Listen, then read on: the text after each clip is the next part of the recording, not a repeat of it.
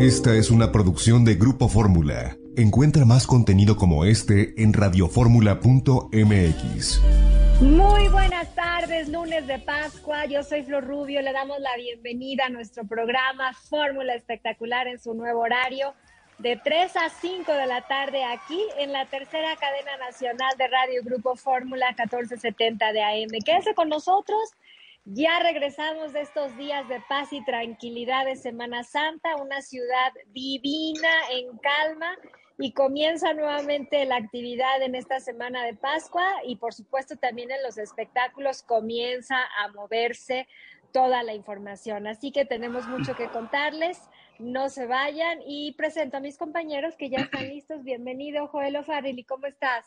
Mi querida Flor, híjole, con muchísimo calor, eso sí, mucho calor, incluido la noche, ¿verdad? Terrible, pero aquí estamos muy contentos de regresar ya a los en vivo que tú sabes que nos encantan. Y pues un fin de semana de palenques, varios cantantes estuvieron en presentaciones muy importantes, por supuesto las reseñaremos, y también información de Cristian Nodal que pues eh, no deja la polémica, realmente no la deja, le encanta la polémica, ¿eh? en un momento, por supuesto, detalles. Mario de la Reguera, bienvenido, ¿cómo estás? Hola, hola, ¿qué tal? Oye, pues yo me fui a Network a ver eh, a, Daniel Jiménez Cacho, al Teatro de los Insurgentes. Está, por cierto, maravilloso él como actor, vale la pena. No pude saludar a Tina Galindo porque no fue ese día, pero sí saludé mucho a Claudio Carrera y de rojo vi a Francisco Franco, que es el director precisamente sentado en, una parte de la, puesta en escena, en, el asiento que siempre ocupa Tina. Pero más adelante les comentaré al respecto. La verdad que vale la pena, ¿eh? Julia Vega está no linda, sino lo que sigue, lindísima. en un momento Mario nos dará toda la reseña y los detalles. Saludo también a Gabriel Cuevas. ¿Cómo estás, Gabo? Hola, jefa. Oiga, tío Mario, era teaser, no nota. Ya hasta me describió cómo se veía Suria, ya me la imaginé, pero bueno, de usted lo tolero todo, tío Mario, lo tolero todo. Oigan, pues yo les voy a platicar que estuve en la última función de José el Soñador, estuvo bastante emotivo el momento en el que Carlos Rivera se despidió de esta puesta en escena, pero también les voy a platicar que estuve, pues ahora sí que viendo la pesadilla que está viviendo la tía Laura Zapata en el programa sabatino de TV Azteca, porque pues está recibiendo amenazas de muerte la señora, y ella no sabe qué hacer. Y también les voy a contar de un famoso conductor que pues fue víctima de estas personas que cuando dejas tu coche afuera del antro te hacen la maldad. ¿De quién se trata? Se los platico al ratito.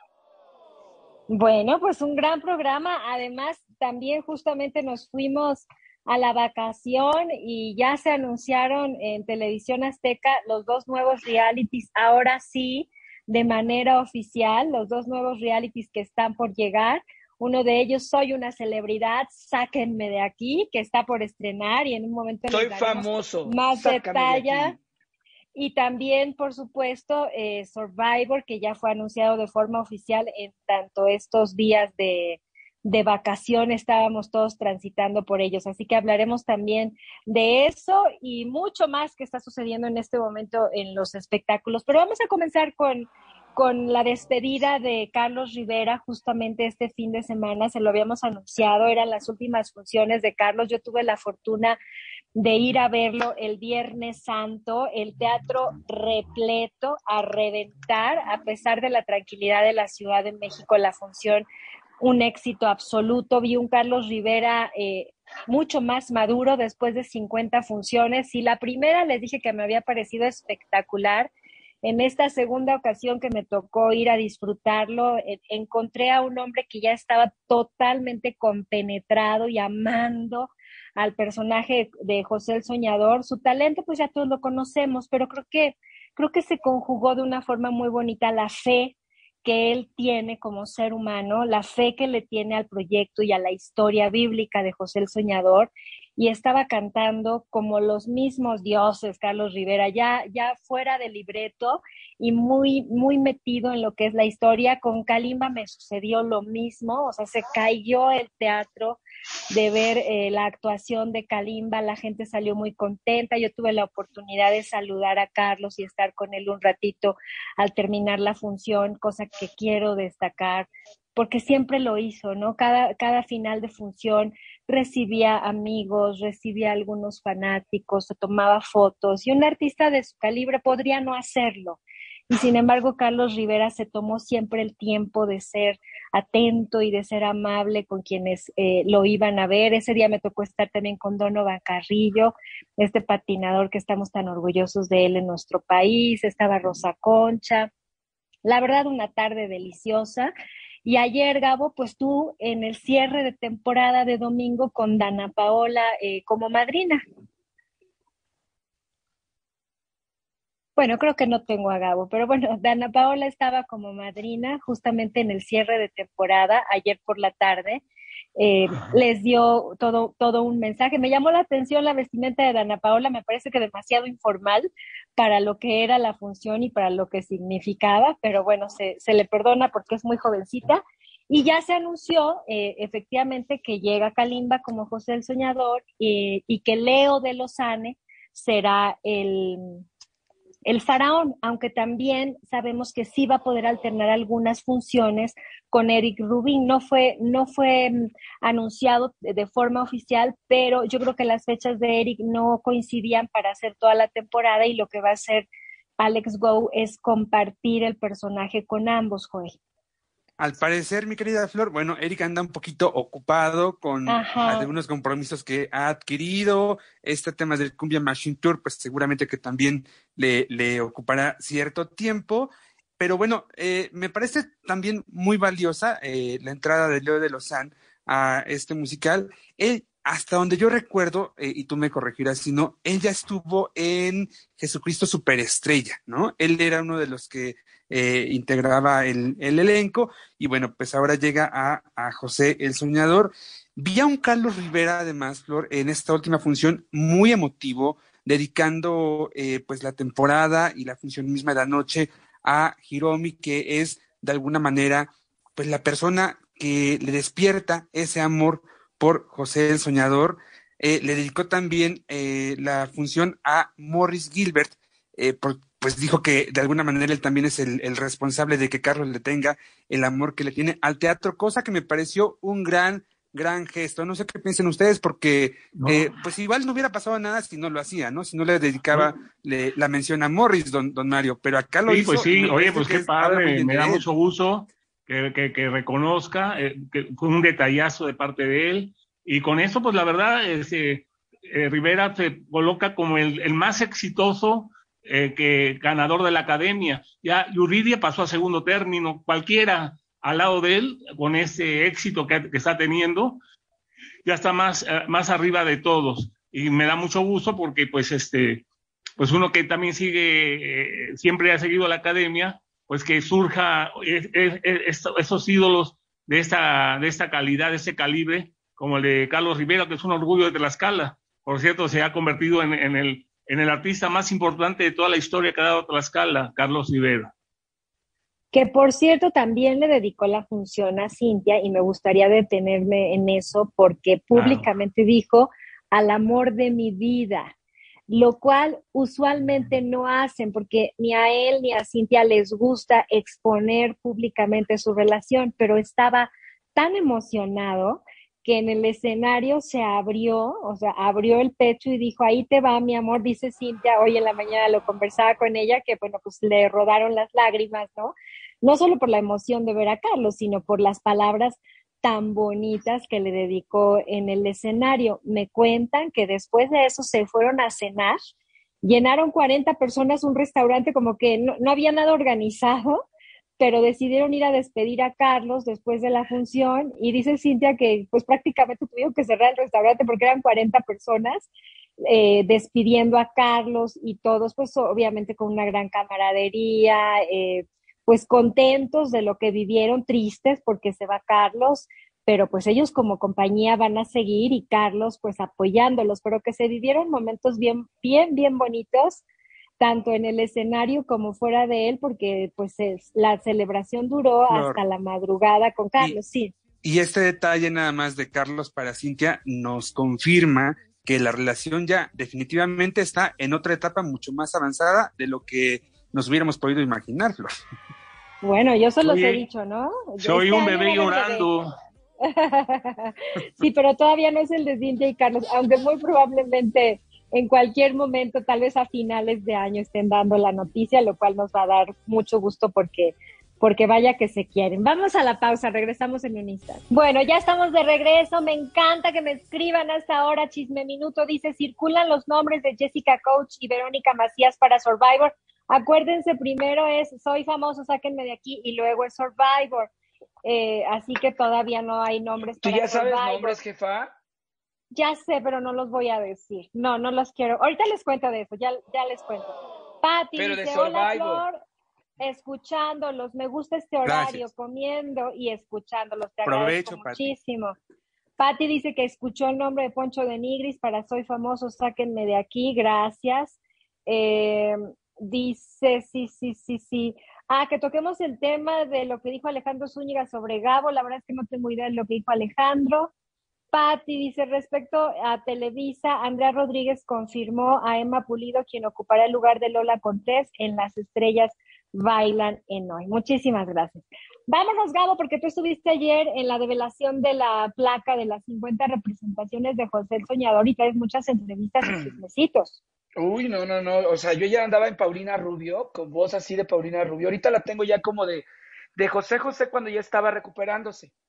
Pero ayer sí la tenía tanto de Paulina Rubio y me tocó ver eh, a Dana Paola, quien fue la madrina. Dicen que esta parte de lente oscuro, en lugar oscuro, naco seguro.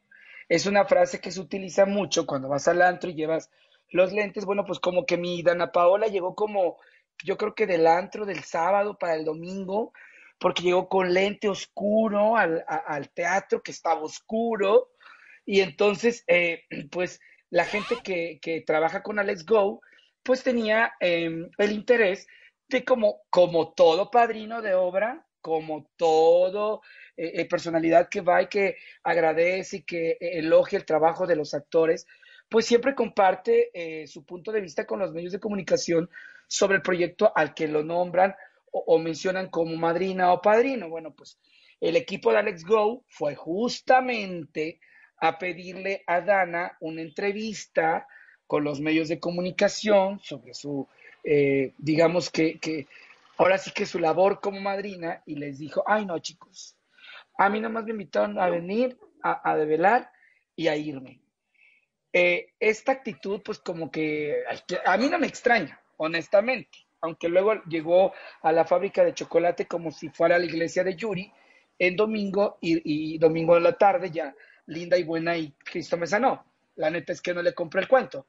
Entonces resulta ser que no quiso hablar con los medios de comunicación, pero espérense, a quien también le hizo el feo fue a mi querido Alex Go, porque ella sube al escenario, justamente, chalala, y lo máximo, Alex, somos familia.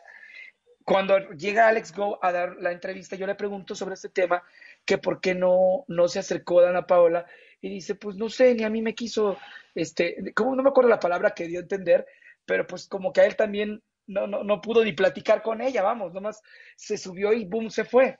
Y pues como que esto, quieras o no, poco, un poco, puso un poco tenso al ambiente reporteril y de medios de comunicación, pues porque eh, era el evento del, domingo.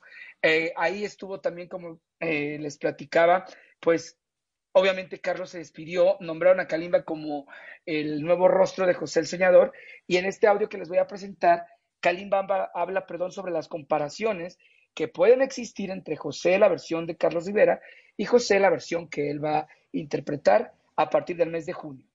¿Le parece si escuchamos?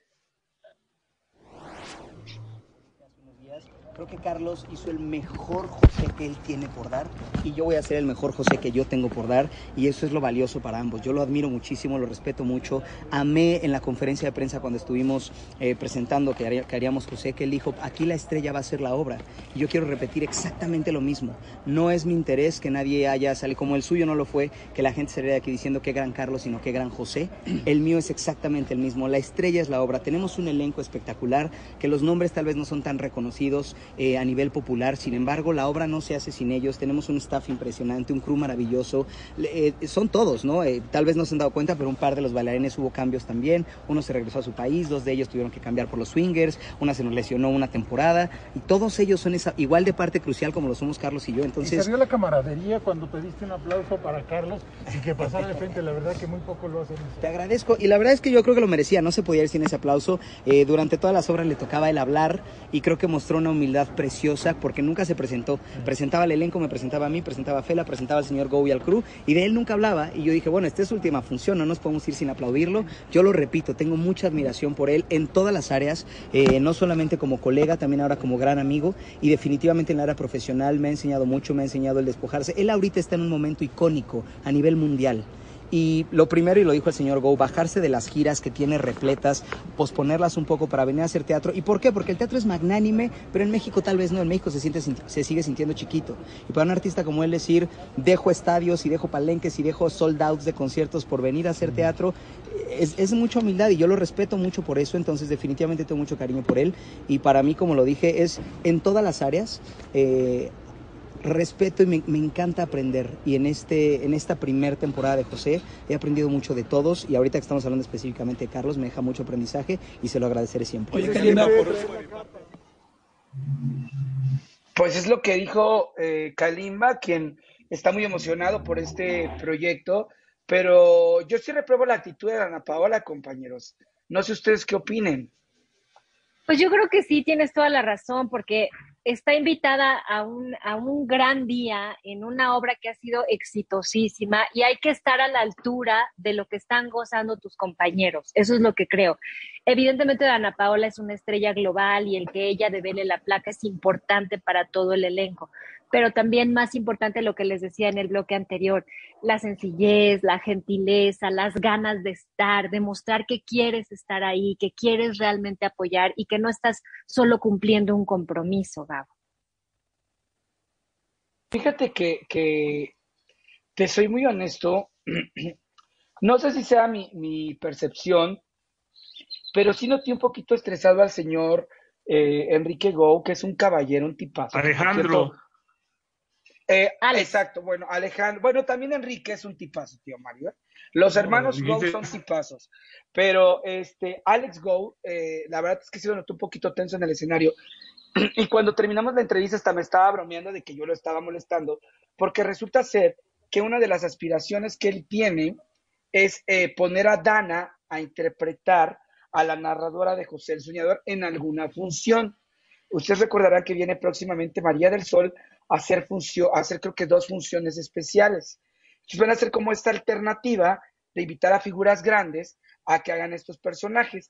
Y entonces yo le pregunté, oiga, pero usted cree que después del impacto vocal que Fela ha demostrado, Fela Domínguez, en el teatro, Dana la supere? Claro. Y eso me lo contesta el señor, pero yo creo que se los vamos a poner en el siguiente corte comercial, porque como que a mi Dana no le gusta que la comparen. Y perdón, tío Mario, yo no sé si usted fue, pero las notas que alcanza esta chica son superiores vocalmente a las de mi querida Dani. Mire que amo a Dana Paola como cantante. Oye, pues eh, cuando hizo la de la bruja, este, estuvo maravillosa, ¿eh? Y por eso la agarraron directamente de Broadway. O sea que... Sí, pero, pero acuérdense que la narradora y no creo que, te, haya enfrentamiento, cada quien va a dar su papel. Es como ahorita, no vas a comparar a Kalimba con, con, este, con Carlos Rivera, cada quien va a hacer su propio papel, ¿no? Los dos son muy buenos. Pues que, perdón, pero... yo creo que no habría lugar a comparaciones básicamente partiendo de lo siguiente. La señora Fela Domínguez ya tiene su lugar en José el Soñador, es definitivamente la narradora de esta temporada de José el Soñador, y en el caso de que eh, a Let's Go lo lograra y llevara a Dana Paola, pues me parece que sería básicamente como una participación especial que llegaría, creo yo, a sumar a la carrera de Dana. Creo que Dana está en un gran momento de su carrera y tendría que preocuparse por elegir bien los proyectos que va haciendo. Y este, José el Soñador, me parece un gran proyecto que le puede sumar algo padre a su carrera, aunque sea como currículum, pero creo que le puede sumar cosas, Gabo.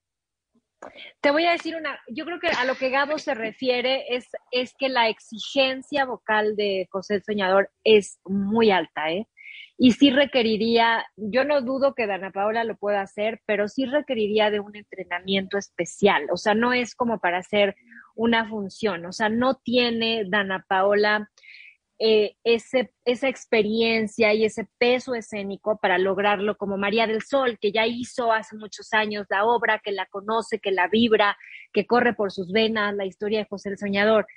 Y la exigencia vocal de la narradora es, e, extraordinaria, entonces requiere, requiere de tiempo. Y creo que a eso se refiere Gabriel, o sea, que si realmente Dana estaría dispuesta a entrenarse, a meterse de lleno, porque así de que lo quiera hacer de la noche a la mañana, imposible, Joel y María, imposible que lo Creo que ya tenemos eh, el tiempo, dije que te acabo de mandar este del 8.15, para que escuchemos la respuesta justamente de Alex Go cuando yo le pregunto si él considera que, perdón, pero, pero, insisto, tío Mario, no es lo mismo escuchar a Winnie Houston, y lo digo así porque Fela tiene ese tono, Fela alcanza esos tonos, y Dana es como si fuera una voz bonita, como mi Talía, ¿me explicó? No es lo mismo.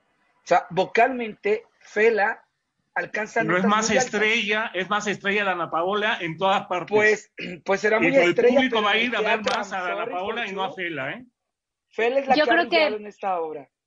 No, no la vamos a poner ahora porque ya tenemos el tiempo encima, pero lo que creo, Mario, es que estás hablando por nombres, eh, no necesariamente por lo que implica. O sea, efectivamente, nadie puede negar que Dana Paola tiene mucho más nombre que Fela, pero lo que está haciendo Fela ahí es de calidad mundial y requiere de pues un es así que ella ocupa el lugar que iba a ocupar Yuri, imagínate.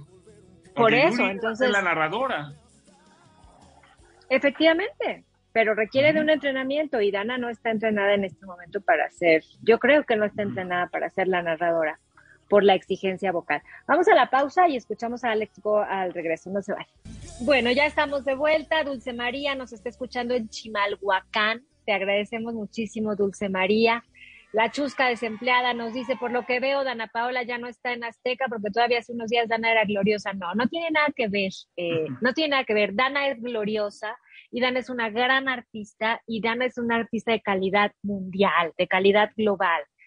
Pero no, no por ello estamos listos para hacerlo todo en este momento, para ser la narradora de José el Soñador, hay que tener un entrenamiento, mismo que seguramente tuvo cuando hizo Wicked. Dana Paola hizo una extraordinaria Wicked, pero tenía entrenamiento especial para hacer ese trabajo, así que no cambien las cosas. Dulce María dice que este nuevo horario le recuerda a La Oreja y a Pasillo TV. Muchísimas gracias. Sí, nos gusta, empezamos a disfrutarlo. Ahora sí, Gabo, mándanos a tu audio de Alex Go. Bueno, pues ayer justamente con Alex Go, pues eh, estaba, digamos que un poquito contento por tener a Ana Paula en el escenario. Mi compañero Omar de imagen le pregunta sobre qué proyectos tiene. Y aquí la respuesta del señor Alex Go cuando le cuestiono si Dana superará a Fela vocalmente. Yo no creo, insisto, yo no creo, pero veremos, vemos, vemos. Escuchemos. ¿Ya pensaste algún proyecto para Dana Paola? Ya que pues mira, ahorita que mientras eh, estaba el teloncito platicamos, porque es muy difícil luego platicar con ella, le propuse hacer eh, José y me dijo que feliz lo hacía, que nada más hay que ver eh, fechas. Sería una invitada especial. ¿Pero cree que sí canta igual que Fela? Pues creo que esta, ¿cómo se llama? Dana, de, de las mejores. No, pero pues, ¿cómo, ¿cómo le voy a contestar? Velo cómo viene. No, hombre.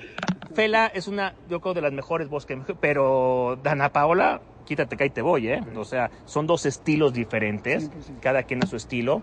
Y bueno, sería un placer que Dana hiciera unas funciones de invitada aquí.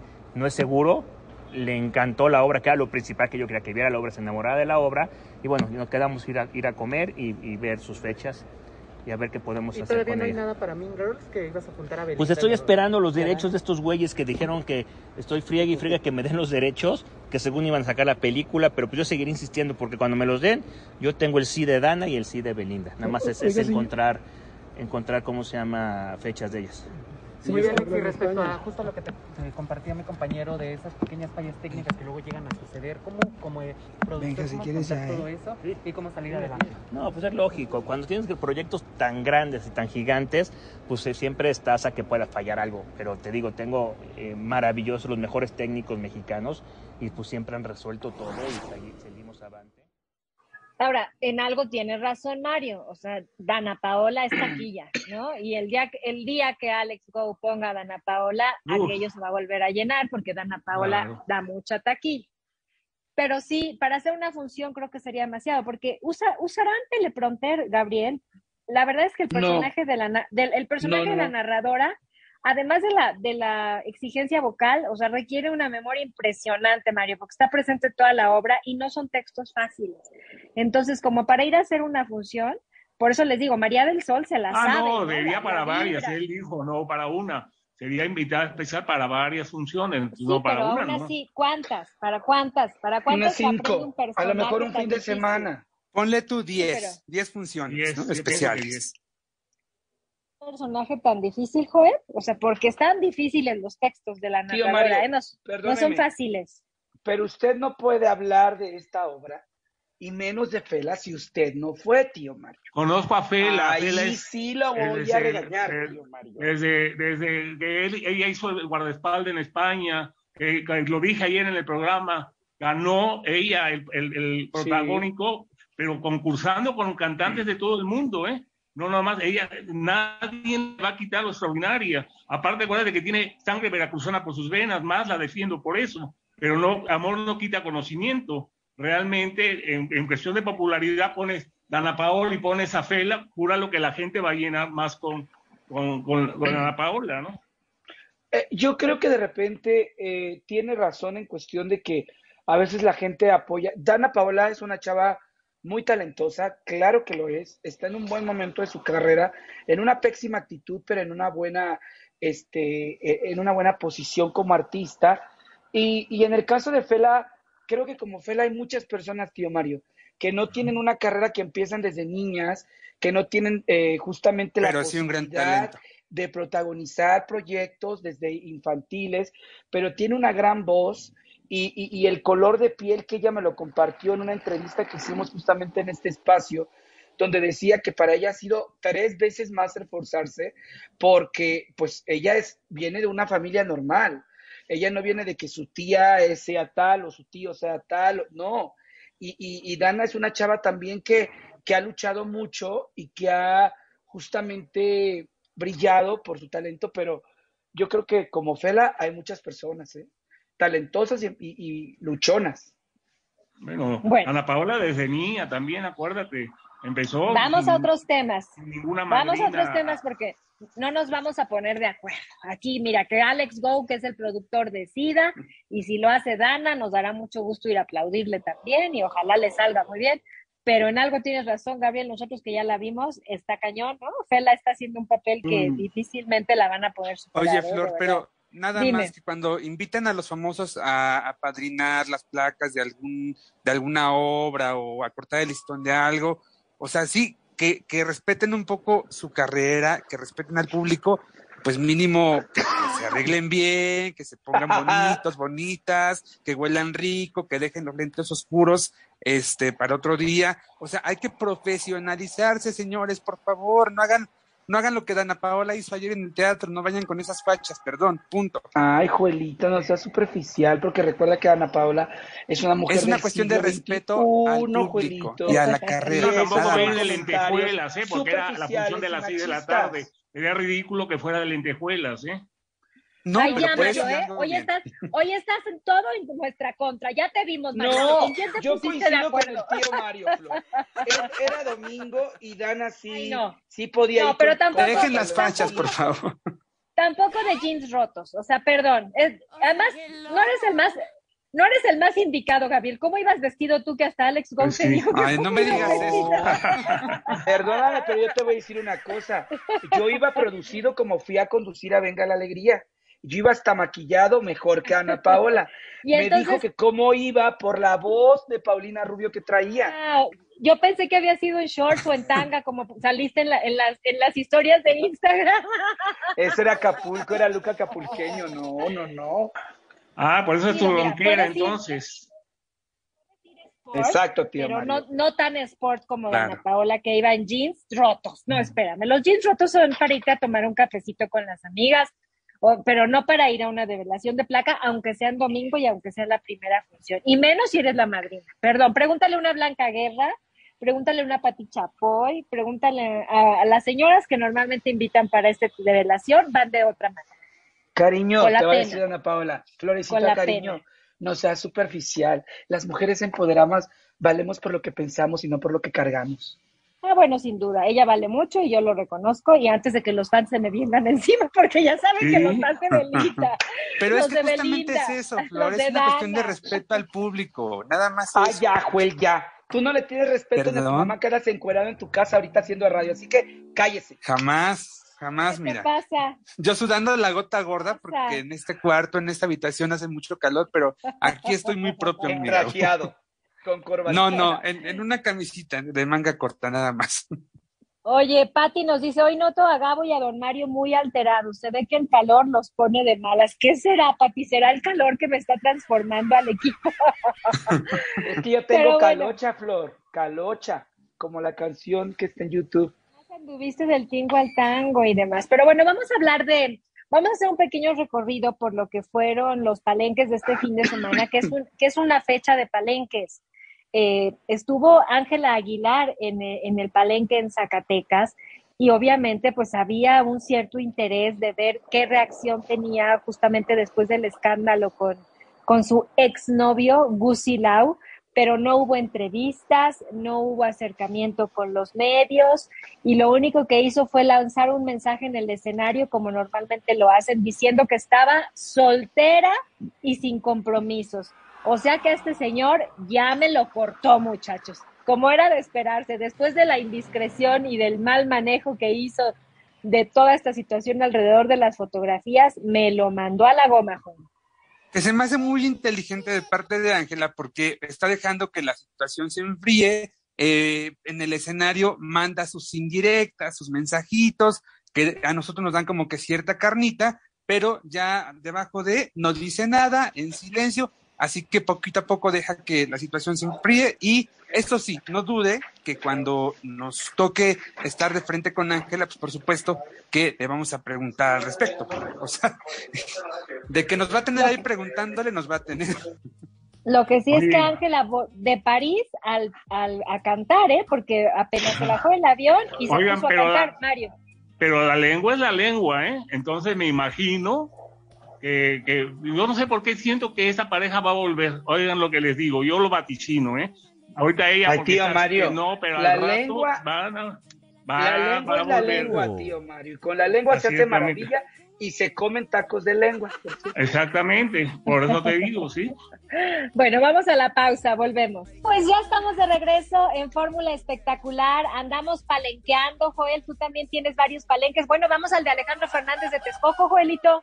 Sí, bueno, ahí fueron dos presentaciones, ¿verdad? Con más o menos algo así como seis mil personas en cada palenque. Le fue, le fue muy bien, duró más o menos dos horas aproximadamente en cada noche. Y entre los famosos que se dejaron ver en el palenque, pues Anaí con Manuel Velasco, que dieron la sorpresa, que dicen que Manuel estuvo medio romanticón con Anaí, que de repente le dio su besito en la mejilla cuando el potrillo se ponía eh, muy romántico con la música. Entonces, este, pues creo que pasaron una gran noche. Alejandro, por cierto, también estuvo en Acapulco, ahí cantó durante dos horas y media, o sea que tuvo un fin de semana, la verdad es que muy bueno y curiosamente esta vez no lo acompañó su casi inseparable eh, novia, eh, Carla Laveaga, no estuvo esta vez porque Carla estaba justamente compartiendo con Alex Jr. y con la esposa de Alex, Alex, perdón, que estaban celebrando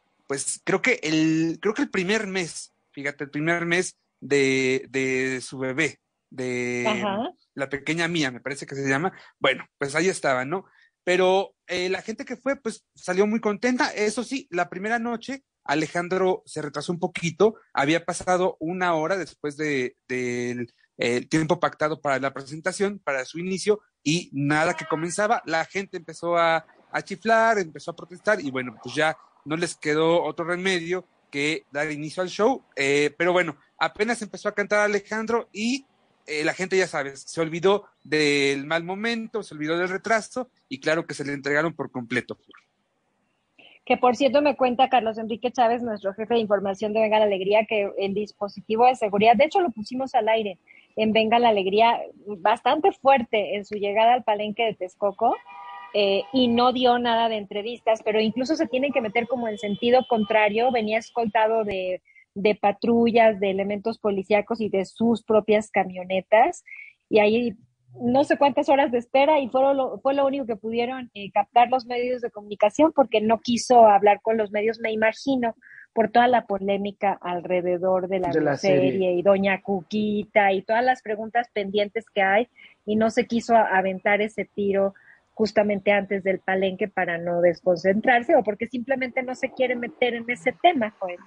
Pues una es cosa que de que la prensa se hubiera organizado, se hubiera organizado, hubieran mandado una botella de tequila y a ver si no hablaba, porque ya sabes que curiosamente, de sus últimas 10 apariciones de unos tres años para acá, yo creo que Ajá. en cinco o seis ha estado con sus, con sus traguitos encima cuando habla con los medios. fíjate. Exacto. ¿Qué me decías tú, Gabo? que una amiga terminó con él. Más bien, ¿Cómo? se fue con él después del palenque. Ah, en Texcoco. Ahora sí que tuvo Con su copia para Carla privado. Laveaga, por favor. Ay, a mí me encanta exhibir a los hombres infieles. Yo debería tener un programa, así como esta niña de Babadú, este, como Lisbeth Rodríguez, pero de los famosos. Cuando vino de Coldplay, tenía a la mujer en el hotel, pero le mandó a mi amiga camionetona aquí a la del Valle. Y boletos VIP, ¿no? Y ahora el potrillo dice Juelito que tiene novia, que yo lo dudo, yo creo que más bien es su hermana de luz, este, y pues se fue de coqueto con, con mi amiga la socialité que ya les he platicado. Bueno, pero tampoco estabas ahí con ellos toda la noche, o sea, se fue, el que se hayan ido juntos no significa más que se fueron juntos. Yo todo lo contrario, a mí no me gusta exhibir eso porque me parece que son cosas muy privadas y Carla sí es una novia, Gabo. Ella durante todo este tiempo ha estado compartiendo fotos acompañando Jefa, a pero tú Alejandro crees que ella no sabe. No sé, pero, pero, pero no tenemos por qué ser nosotros los que se lo avisen, ¿no? O sea, que ellos sepan lo que tengan que saber y santo remedio, yo digo. Por lo pronto, Yo digo, amiga, te- date son- cuenta. no, son temas delicados. A mí, a mí eso no me gusta. Ahí estaba el teacher López Dóriga, por cierto, en primera fila en Acapulco. No sé si vieron las imágenes. Como son muy amigos, Por lo pronto, le echó a perder el Garibay, de que llegó Anaí con, con muy enamorada de con su marido, con Manuel Velasco. también en Acapulco, Mario. No, no, no, estaba diciendo, ¿en dónde fue? No fue En en, Texcoco, el. don Mario. Fue Texcoco. en Texcoco, por eso te digo, que le echaste a perder el día a Benjamín Garibay, que acuérdate que su amor imposible es precisamente Anaí. Más bien, él quiere ser Anaí, tío Mario. Saludos ¿Y a quién más Benjamín. ¿Quién más andaba de palenque, Joel? Bueno, Pepe Aguilar también, eh, él arrancó eh, con el palenque, arrancó la Feria de San Marcos, ¿verdad? Eh, que San Marcos es una muy buena plaza para Pepe, ahí casi, casi eh, es, es un hecho que llena todos los conciertos, esta vez no fue la excepción, él compartió escenario en algún momento de la noche con su hijo, con Leonardo Aguilar, ahí estuvo eh, pues apoyándolo, le dio chance de cantar un poquito y también la gente estaba muy, muy contenta y de esta manera pues arrancó esta nueva edición de una feria tan tradicional, compañeros, como San Marcos, la feria número uno Sí, de este claro. país, que había estado fuera eh, pues durante, desde La 2019 pandemia. prácticamente. Lo- Oye, jefa, y fíjate que hablando de Mm. los Aguilar, yo estuve el sábado en The Music Bar, es The Music Battles, ¿verdad? ¿Es correcto? Ajá, efectivamente. Resulta ser que eh, era la primera vez que yo iba al foro después de que estuve ahí eh, trabajando todos los sábados, ¿verdad? Y me encantó el formato pero tuve la oportunidad de platicar con Majo Aguilar. Qué niña tan agradable es. Me impresiona cómo ella reconoce que la familia Aguilar es muy mocha en sus pensamientos, ¿no? O sea, mocha en el sentido de que ella nos compartía, por ejemplo, que a ella no la dejaban cantar hasta que tuviera la mayoría de edad, que en la familia Aguilar el ser mayor hasta los 18 años puedes tener justamente novio y la familia lo tiene que aprobar, ¿no? Entonces, de repente cuando e, ella contaba que, por venirse a la Ciudad de México y buscar su sueño de cantante de manera sola, sin apoyo de sus tíos, sin su papá, sin nadie, eh, pues ha sido como la, la, oveja negra, ¿no? La que vive con el novio, la que es una chava bastante liberal, la que sube fotos en traje de baño, porque hasta la regañan si sube fotografías en traje de baño. Y esto remarca el sufrimiento de mi querida Ángela Aguilar, que casi casi sentía que le había dado el tesorito al hombre por haberle dado un beso y llorando y se sentía la vergüenza eh, eh, de su familia, ¿no? Creo que la familia Aguilar sí tiene que tomar un, un buen curso de vida porque qué horror que en estos tiempos puedan los papás pensar de esa manera. En lugar de ser, dejar a los hijos libres, les creas más conflictos e inseguridades.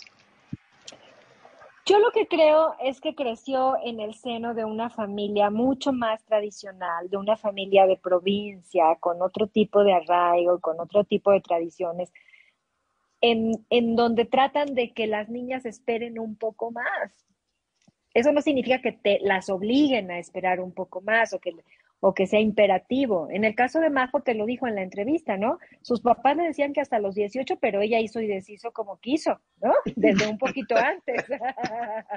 Entonces, entonces yo creo que lo mismo sucede con Ángela, ¿no? Eh, aquí el problema es que la persona que estaba con Ángela, además de ser muy mayor para ella, también trabajaba con Pepe y eso se, se, convierte también tal vez en un abuso de confianza, ¿no? Confundir la relación personal con el trabajo. Que ayer que estaba armando esta nota de escritorio, me puse a buscar videos en internet a ver qué encontraba. El fragmento de, de, de, donde Pepe dice justamente de, los hombres que se me hace muy machista en su manera de pensar. Pero di con un video donde él está comiendo con este compositor y Ángel al lado de él. O sea, él conocía al hombre. O sea, él conocía al hombre y él sabía que su hija tenía un novio. Y si sacamos cuentas, Ángela ya andaba con él desde que tenía 17. No lo sabemos. Esto sí no lo sabemos porque recordarás que eh, pues eh, los Aguilar y este compositor se conocen desde hace varios años porque incluso bueno, en el video, pues, ha colaborado. en el video no tiene un mes, ¿eh? claro. todo este que, con el que yo di, eh, pero, el, pero el video, no, no, no, alude a ninguna situación romántica, ¿o sí? Pues yo sí lo percibí, fíjate. Y mm. mira que no soy vidente. Que después de la miseria que hicieron en esta casa voy a tomar yo creo que cursos de, ah, de, aprender a ser vidente, pero sí creo que que Ángela... Mm, Ahora, acuérdense, acuérdense que él trabajaba con la familia y no, no hace dos semanas sino ya hace un año y medio, hasta donde entiendo. Él trabajaba dentro del equipo de Pepe Aguilar. Entonces conoce perfectamente a Ángela, a Pepe, a la familia, a Leonardo y a todo mundo. Él, probablemente para curarse en salud, dijo esto de que desde hace dos semanas andaba con Ángela y probablemente anduvieron un poco antes. Pero ese es el problema de abuso. Una cosa, pero mira, si hacemos matemáticas, a los 15 días no le dices a una persona, sí, sí quiero ser tu novia. ¿Me explico? Siendo honesto. Sí, sí, sí, la conoces desde hace mucho. exacto, exacto. Pero, sí, una cosa es que se conozcan, pero es que una cosa es que se conozcan y otra cosa es que empiecen a andar. O sea, son dos cosas distintas. Yo me acuerdo, jefa, que en mi pueblo una amiga, una vez sus papás eh, la mandaron a hacer la prueba del imen porque creían que su hija ya no era virgen. Eh, la gente está encerrada que igual a lo mejor le hacen eso a Ángela, ¿eh? Ay, no digas eso. Ya vas demasiado lejos. Vamos a la pausa, regresamos. Pero sí pasa. Esta fue una producción de Grupo Fórmula. Encuentra más contenido como este en radioformula.mx.